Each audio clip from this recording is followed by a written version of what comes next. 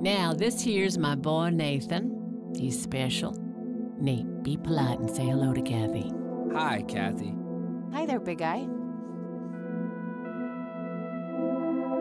Very lifelike. Contrary to popular belief, I don't believe the owls are more than what they seem. Yet another burial ground for those sweet, addictive, not to mention cancer inducing sticks of tobacco. I'm a huge fan. Nice view of the lake from here.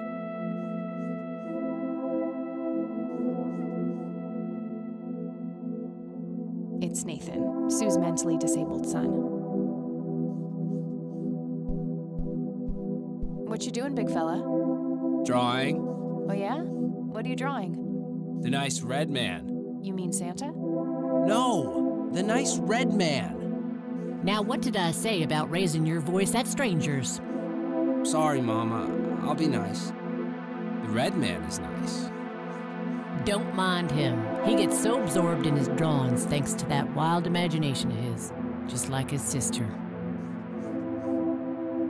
Nah, he's stuck in his own little world.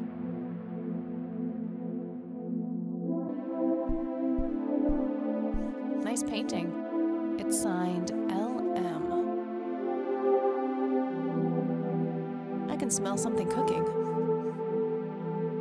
I can smell something cooking. Elk, by the looks of it. They're fairly common in Conwell Woods.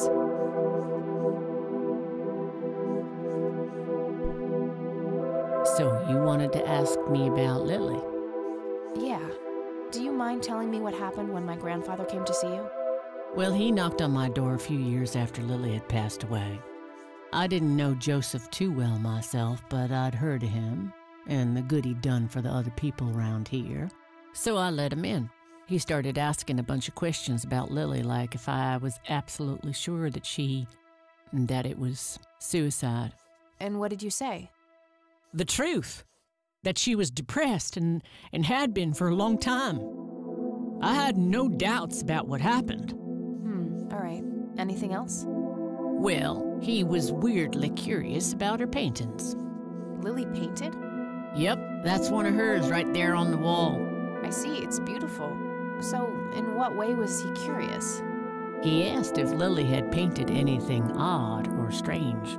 I didn't really get what he was after, but I, I let him have a look at her work. He spent some time browsing through them, and then he wrote something down on a piece of paper, thanked me, and left. Huh. Any idea of what he could have seen? Not really.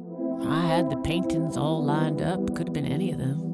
Would you mind showing them to me? Well, I would if I could, but this is the only one I have left. I sold the rest many years ago to this weirdo art collector.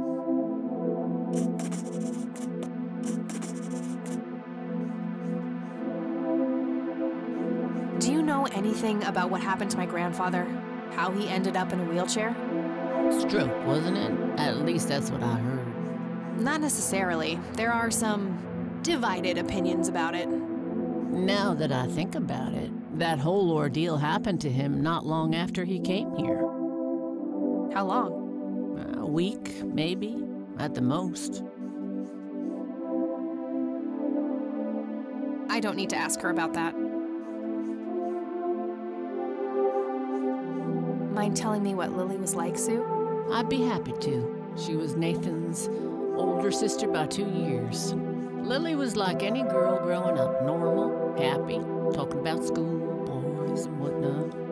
And she and Nathan were close back then, always playing together in the woods. When Lily was 10, she started drawing, always doodling on just about anything she could get her hands on. We didn't have much, really, and so she used what she could. Once I even caught her scribbling on toilet paper. on her 12th birthday, we gave Lily a thick sketchbook with an assortment of pencils. She was ecstatic. That was the happiest I'd ever seen her. From that day, drawing became her life. Eventually, her art teacher at school helped her to get started with oil painting. When Lily was 15, something changed. At first, I thought it was just usual teen angst, but no, this was something different.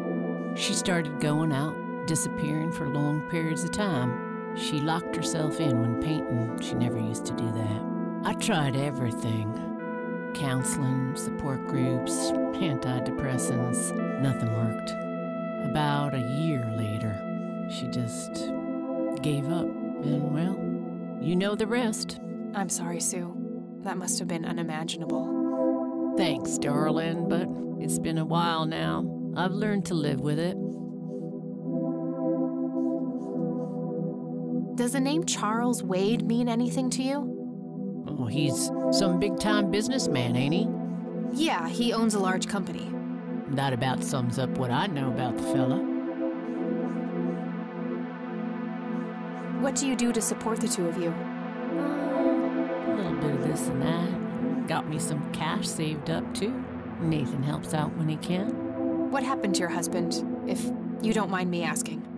You could say he didn't quite cope as well as I did with what happened to Lily. He got himself a death wish after what happened to her, started drinking and getting into all sorts of trouble. Five years left for him in the joint now. Been there for 15. Man, that must be rough for you. Oh, we're doing just fine without him, aren't we, Nate? Mama takes good care of us. Mama sure does. So, tell me about Lily's art. It used to be about cheerful things landscapes, animals, bright colors. But as she drifted further into depression, she started painting horrible things death and decay. And the last few pieces look like something out of a nightmare. That's awful. Did Lily ever get any recognition for her art? Not really. Except from the guy I told you about who bought most of her paintings. Tell me about this art collector person. Rich, fancy looking, in his 50s or thereabouts. I'd say he'd be around 70 now if he's still alive. He knocked on that door one day with a wad of cash in his hand $5,000. He wanted everything that Lily so much as touched with a brush. Huh. Did he say why? Nope, but I got the feeling that most of that dough was paid so he could avoid any questions. I took the money. I still had Nathan to support. Did the stranger give you his name? No. Well, his face was far from forgettable, though. Big nose, bright blue eyes, looked black Irish. He had a thick black mane, turning gray, no beard. All right, Sue. Thanks. I'd rather just ask her about her daughter directly. Do you know what this key opens? Well, that's a bit of a weird question, ain't it? But no.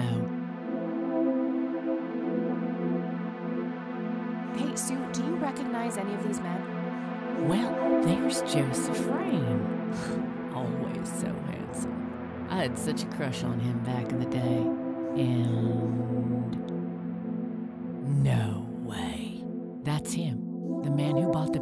He's, he's much younger here, but there's no mistaking that hair and nose. Are you sure? I'm positive, little cat. That's the guy who walked into this cabin with five grand in cash. That's very helpful, Sue. Thanks. Ugh. Another question for the elusive Mr. Wade.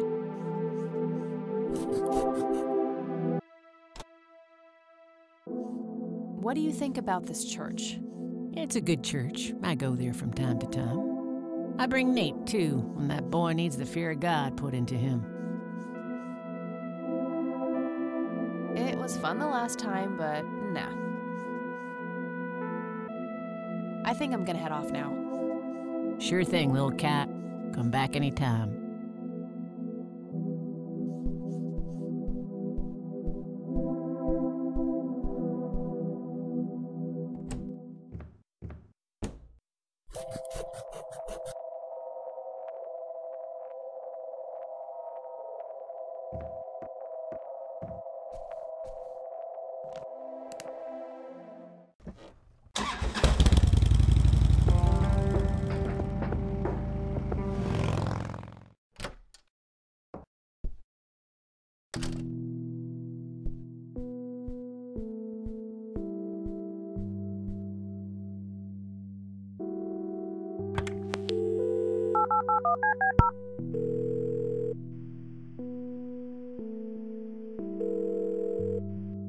You've reached Erica Wade.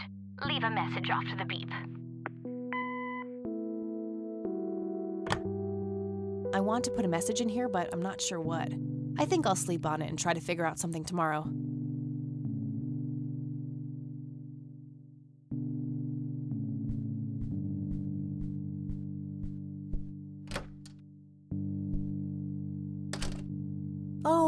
Hello, dear.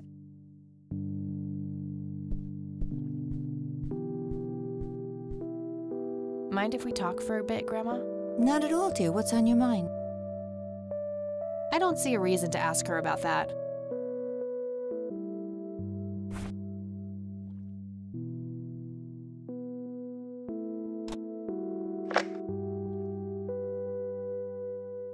You've reached the Rain residence. Leave a message after the beep. Hello, Joseph, Mrs. Rain. It's me, Charles. I thought I'd give you a call. Erica just had her firstborn. It's a boy. Thankfully, he looks nothing like his father. Uh, listen, I was thinking maybe you'd like to come and visit. And what about your little Kathy? Maybe she wants to see the baby. Well, anyways, I hope to see you soon. All the best. Bye. You people make me sick. We're never coming back. Don't call, don't write. If you ever try to contact us, I will call the police. Joseph, you there? It's me, Cocky. I, it happened to me too. And I'm not going to tell any of those bastards. They got it all wrong. You're the only one I trust now. Just call me back as soon as you can. Hmm. I wonder who this cocky is.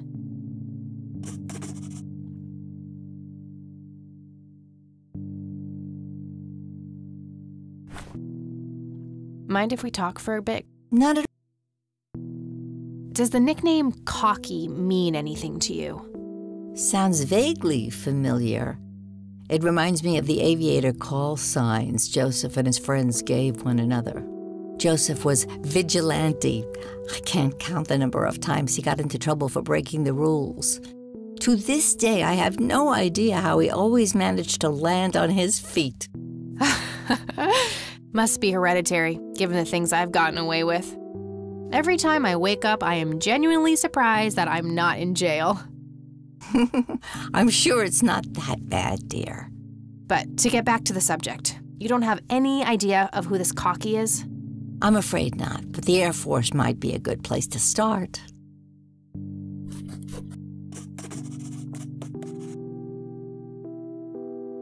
I don't see a reason to ask her about that.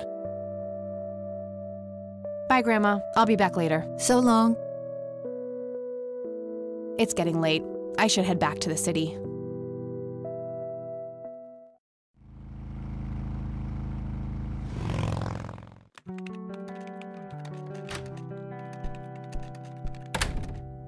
Hey, you're still up. I was wondering when you'd show up. How did it go? Long story. I found out about some stuff that happened when I was a kid.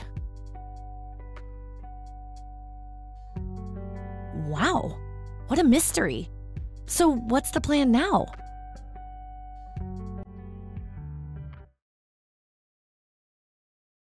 I don't know yet, but I'll figure something out.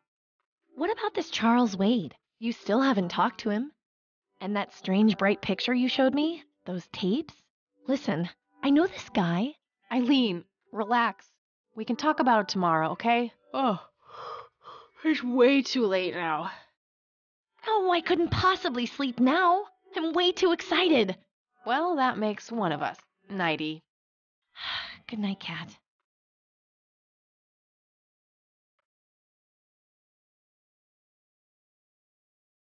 Hey, Kathy, wake up!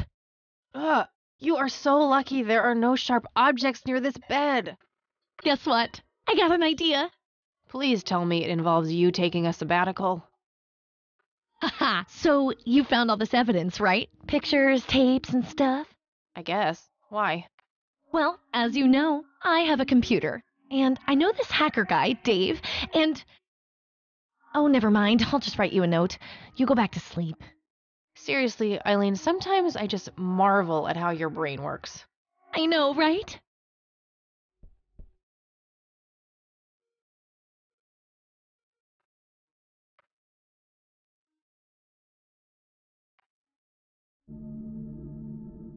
Are you sure you want to do this, Catherine? You still have time if you think there's any chance you would change your mind. I'm sure, Doctor. Just get it out of me.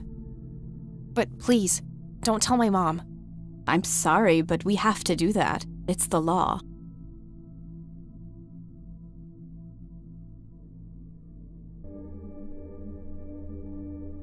It's none of her business. It's my choice to make. I have enough shit going on with her already. This would just add fuel to the fire. I'm afraid there's nothing I can do. Fine. Let's just get this over with then. Right this way.